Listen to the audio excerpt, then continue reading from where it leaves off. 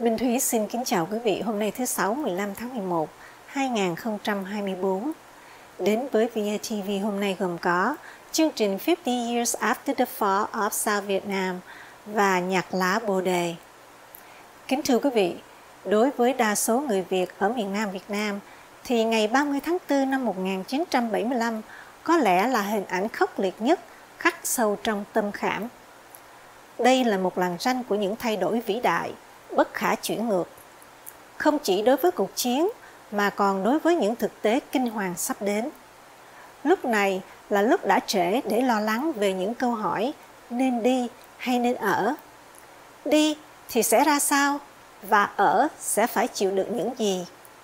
30 tháng 4 năm 1975 đối với những người bị kẹt lại chỉ còn là lặng lẽ để chờ đợi và chấp nhận những gì số phận đã an bài. 30 tháng 4 năm 1975 cũng là một ngày của hai viễn ảnh. Một số hy vọng rằng dù gì thì đất nước cũng thống nhất, chiến tranh cũng chấm dứt và nên bình tĩnh nhìn về phía trước vì dù sao sống vẫn tốt hơn chết. Một số khác hy vọng hảo huyền rằng miền Nam chưa mất, Sài Gòn có thể mất, nhưng quân đội miền Nam Việt Nam ở những vùng khác vẫn có thể trở về chiếm lại miền Nam. Ký giả Vũ Thanh Thủy nghĩ gì trong ngày 30 tháng 4 và những ngày sau đó?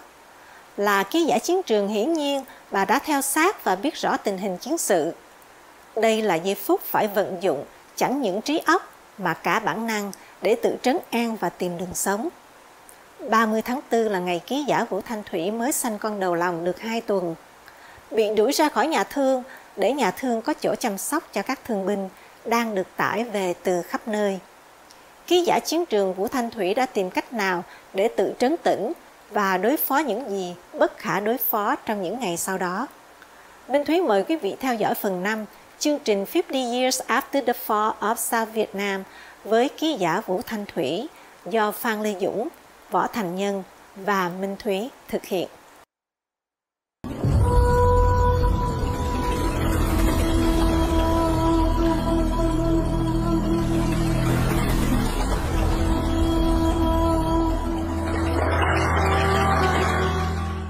Vâng. Thì chị đi năm 79 điều đó có nghĩa là 4 năm chị nhìn xã hội cộng sản và với con mắt phóng viên rồi. Dạ. Tức là chị đã ở với cộng sản vâng, 4 năm và lúc đó chị năm. và và hơn nữa là chị đã là con mắt phóng viên rồi bởi vì chị đã làm tàu dạ báo vâng, rồi. Dạ vâng. Thì khi mà chị chứng kiến cái ngày bây giờ mình gọi là tạm gọi là một cái ngày lịch sử đến ngày 30 tháng 4 là trước và sau nó sẽ thay đổi thì chị nhìn thấy sự thay đổi như thế nào? À, tôi nghĩ chính cái nghề phóng viên đó nó cứu sống tôi trong rất nhiều hoàn cảnh nó nó tập cho tôi được cái thói quen đó khi mà gặp những cái cảnh cùng cực á, thì mình giống như mình tách ra thoát xác ra mình nhìn bằng cái con mắt của một người báo chí để mà ghi nhận và để có một ngày nào đó mình sẽ áp dụng mình sẽ sử dụng ừ. cái kiến thức này ừ. tức là trong tiềm thức chị nó đã có trong cái đó tiềm rồi thức nó vâng. có cái đó vâng. vâng từ xưa một phần khác nữa tại vì bà tôi um, hồi nhỏ đó à, thì cứ hay cho mình đọc những cái chuyện à, từ những chuyện à, cô bé lọ lem cho tới những chuyện công chúa ngủ trong rừng những chuyện bà tiên. Thì tôi nhớ có lần à, công chúa ngủ trong rừng chẳng hạn rồi các bà tiên à, hiện ra. Thì ba tôi hỏi nếu mà bây giờ có người nào hiện ra cho con điều ước gì thì con sẽ ước cái gì? Thế tôi bảo con cũng không biết nó còn phải nghĩ. Ba tôi bảo con luôn luôn phải có một điều ước. Tại vì nhiều khi cơ hội nó chỉ đến một lần trong đời con phải biết cái gì? Bảo bây giờ con còn nhỏ con biết gì? Con còn nhỏ thì con con ước những cái điều nhỏ trong cái phạm vi của con. Khi con lớn hơn thì con ước những cái điều lớn hơn. Thành ra từ nhỏ tôi đã tập sống theo những cái ước đó những cái tưởng tượng đó. À, cho nên cái thời gian mà khi mà gặp mà ngày 30 tháng 4 khi đó tôi đang sanh cháu đầu lòng. Cháu sanh ngày 15 tháng 4 75 mới có hai tuần lễ thôi nó còn ở trong nhà thương. Hồi xưa thì các sản phụ Việt Nam ấy, nhiều khi ở trong nhà thương tới một tháng để mà được chăm sóc. À, rồi sau đó mới về nhà. Nhưng mà à, trong những cái ngày mà gần tới tháng tư một cái là bị đuổi ra hết rồi. À, để mà dành chỗ cho các thương binh. Lúc bây giờ các thương binh ở khắp các vùng chiến thuật chuyển về quá là nhiều. Cho nên à, trong cái tâm tâm trạng của một bà mẹ mới đó thành ra tôi tôi rất là sợ hãi. Tôi sợ hãi từ những cái ngày mà bắt đầu mà mất ban mê thuật rồi mất qua tới phước long. Tại vì tôi um, nghe những cái bản tường trình của các bạn về những cái người sản phụ sanh con dọc đường rồi nằm chết bên lề đường á. Cho nên lúc nào tôi cũng chỉ cầu trời làm sao cho tôi sinh sớm đi. Và ít nhất bế con theo thì nó cũng hơn là đang có bụng mang dạ chửa như vậy. Nhưng mà cũng thích ngày 15 tháng 4 mới sanh. Thì trong cái cơn hỗn độn đó đó à, mặc dù ở trong nhà thương nhưng mà lúc nào tôi cũng có cái radio ở đầu giường. Tại vì làm việc trong ngành radio thì lúc nào cũng có rất nhiều radio khắp mọi phòng. Như bây giờ anh đến nhà tôi anh sẽ thấy phòng khách có radio phòng ăn có radio trong restroom cũng có radio chỗ nào cũng có radio đi tới đâu cũng bật. Thì cái thói quen đó có từ ngày xưa. Đó thì lúc nào tôi cũng vẫn theo dõi tất cả mọi cái tin tức ở khắp mọi nơi. À, cho nên rất là đau lòng đau lòng mình không ngờ bao nhiêu cái mộng ước khi mà mình có đứa con đầu lòng thì sẽ sống thế này thế kia, sẽ đi làm thế này thế nọ. Thì là hoàn toàn là vì ấy. Và và chưa bao giờ mình cảm thấy cái cảm giác bất lực như vậy.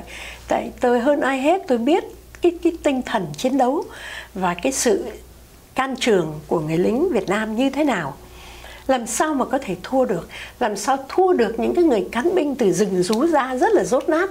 Tại vì trong những cái lúc ra mặt trận rất nhiều khi bắt được các tù binh cộng sản đó tôi phỏng vấn những người tù binh cộng sản tôi thấy họ rất là không hiểu biết cái gì về thế giới bên ngoài hết. À, à, không phải à, mình dùng những chữ thì nó có thể nặng nói là họ rốt nát hay ngu ngợ ngu ngô thì nó có vẻ nặng nhưng mà thật sự trong cái xã hội cộng sản phải rốt nát ngu ngơ thì mới sống sót được. Sau này tôi ở lại 4 năm tôi nhìn ra cái điều đó.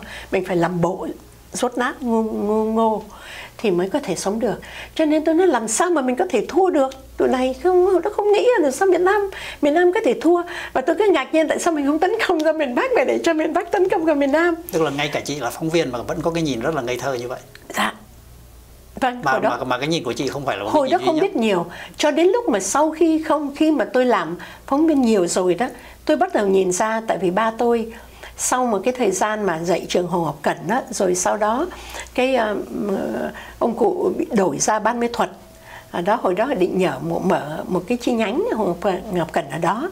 Thì ra ở mấy tháng thì xa gia đình ba tôi không chịu được ba tôi mới nghỉ làm thì ba tôi vào làm việc cho phòng thông tin Hoa Kỳ tại ông cụ cũng giỏi giỏi tiếng Pháp giỏi tiếng Anh lắm.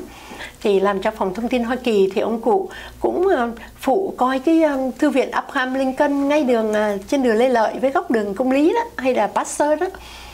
Thì cái thời gian đó à, là tới hàng ngày cái sau khi tôi đi học ra thì ba tôi đón xong rồi tôi về đó là tôi được cái dịp đọc báo thế giới tự do rồi là đọc bao nhiêu báo chí. À, thì à, sau một vài năm thì phải nhận khi ba tôi làm việc cho phòng thông tin Hoa Kỳ như vậy. Đó lương lậu sướng lắm lãnh theo lương Mỹ rồi được đi chợ búa của PX rồi đủ mọi thứ xứ nhưng mà đùng có mới một hôm về nhà ông cụ nói ông cụ nghỉ làm ông cụ đi đi dạy lại. À, thì tôi gia đình không hiểu vì sao. Nhưng mà đến khi mà khi mà tôi bắt đầu tôi bước vào làm báo đó thì tôi mới hỏi ba tôi về điều đó. Thì ba tôi nói là tại vì bây giờ quân đội Mỹ à Mỹ họ đem quân đội vào đây chiến đấu ở ngay trên đất nước mình mà làm như vậy mất đi cái chính nghĩa của người dân miền Nam, mất đi cái chính nghĩa tự vệ của Việt Nam Cộng Hòa. Đó, thành ra cụ cụ rất buồn, cụ bảo là mình đã ừ, ừ, không có chấp nhận pháp, hy vọng Mỹ sẽ làm khá hơn à, cho cái đất nước mình mà rồi khi mà nguyên cái chuyện đem quân đội về đánh trực tiếp ba tôi bảo tội nghiệp những cái người lính Mỹ đó. Họ tới đây làm sao phân bạn với thù họ còn không phân biệt được. Thì làm sao họ có thể chiến đấu trong cái khung cảnh từ một cái đất nước hòa bình như vậy mà qua một cái đất nước đánh nhau trong rừng rú như vậy? Thì làm sao mà họ có thể làm được?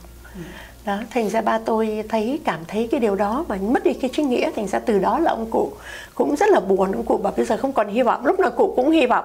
Khi Có mà một... ông cụ nói cho chị biết cái điều đó là lúc đó chị đã làm ký giả vâng tôi bắt đầu làm ký giả à, rồi. à, mới bắt đầu. Vâng, vâng. vâng tôi bắt đầu làm ký giả tôi đi ra mặt trận rồi. Tôi tiếp xúc với cán binh cộng sản rồi. Khi đó khoảng năm 70 71 á là cái trận chiến đầu tiên mà tôi tham gia là ở um, um, trận chiến ở bên Campuchia Campuchia. Hồi một quân đội Việt Nam mình à, tháng 4 năm 70 là đem quân qua bên đó để mà tấn công vào cái cục O của cộng sản đó họ đặt cái bản doanh bên đó yeah. Dạ. thì thật ra cái này cũng nằm trong cái cái chiến lược của Mỹ mà Mỹ không được phép của quốc hội cho phép được qua rời khỏi biên giới Việt Nam thành ra vì vậy mới hỗ trợ cho Việt Nam qua bên đó thì tôi ờ, ờ, tôi qua bên đó hầu như hàng ngày tôi được cái rất là may mắn cái nghề làm báo của tôi tôi nghĩ là nó là một cái ờ, tiền định. Thành ra từ cái chuyện bước chân vào làng báo cũng hoàn toàn ngẫu nhiên. Chứ còn hồi đó um, ba tôi nói là phải học hành xong xuôi rồi mới đi ra làm. À, nhưng mà rồi cái cơ hội nó đến mà mà thành ra tôi là tôi tôi tôi tôi đi theo cái chuyện đó. Vâng. mình không có chủ định mình có chủ định ít nhiều nhưng mà một phần cũng do vâng tôi làm luôn thôi. Đến lúc ba mẹ tôi biết tin thì chạy về ông bà cụ có cái trường trung học ở Cần Thơ. Ừ. thế là chạy về cái uh, la mắng hỏi tại sao. Nhưng mà tôi nói nhà mình chỉ có một đứa con trai duy nhất là anh tôi. Có thể được miễn dịch thế mà anh không miễn dịch, mà trong gia đình tôi đó, thì à anh họ tôi là ông tướng Vũ Ngọc Hoàn, rồi một ông anh à, anh anh rể họ lấy bà chị họ là ông tướng Nguyễn Đức Thắng. Có có thể dư sức để mà có thể giữ anh ở lại, nhưng mà anh vẫn muốn ra ngoài mặt trận. Nếu mà các bạn của con á, bây giờ cũng đều bị nhập ngũ, thì tại sao con lại cũng không có thể bỏ học như giống như họ? Để mà con tìm hiểu về chiến tranh Việt Nam. Ừ. Khi mà tôi lý luận như vậy, ba tôi thì luôn luôn cho phép con cái lý luận. Nếu mà thuyết phục được ông cụ thì ông cụ nghe hồi nãy chị nói tức là về khía cạnh quân sự khi mà chị nói là đi qua để đánh bên cục A bên kia và quân đội Việt Nam chiến đấu còn về mặt dân sự thì sao chị có theo dõi chẳng hạn như là hiệp định Ba Lê hoặc là nếu mà mình nhìn theo dõi một cách khéo léo thì mình có thể à, thấy là Việt Nam quả thật đó hồi đó tôi không có để ý lắm có một thời gian đó um, tôi cũng được ừ, cử đi làm à, làm à, tường thuật ở thượng viện đó thì tôi cứ nghe mấy ông thượng nghị sĩ cãi nhau rồi những cái thành phần thứ ba đó là tôi thấy bất nhẫn. Tại sao đồng ý là mình tự do dân chủ nhưng mình đang chiến đấu chống cộng sản mà để cho mấy ông này chủ trương hòa hợp hòa giải? Rồi cái thành phần thứ ba từ những ông dân biểu ngô công đức mà tôi thấy họ tinh vi vô cùng. Rồi những ông hồ ngọc nhuận lý chính trung à, ba tôi có một thời gian à, cũng sinh hoạt trong một cái nhóm gọi là nhóm pax romana à, hòa bình ở roma một cái nhóm của công giáo các nhà trí thức công giáo thì trong đó có những ông phó bá long, ông võ long triều này kia là những cái nhóm người ở trong đó. Rồi ông cụ hay đem tôi đi theo sách cặp. Ông cụ cứ gọi đùa tôi là bí thư rồi đó tôi 15 16 tuổi thôi. Nhưng mà ông cụ hay đem tôi đi theo. Thành ra tôi cũng được nghe những người đó nói về những cái điều này, điều kia. Từ lúc còn nhỏ mình không để ý đâu. Nhưng mà sau này nhớ lại đó, thì mới thấy là nó đã vào trong đầu óc mình trong tiềm thức mình mà mình không để ý cho nên do đó ờ, khi mà à, có cái cơ hội mà tìm hiểu tôi mới bắt đầu tôi tôi nhìn lại và tôi áp dụng được ờ, những cái điều đó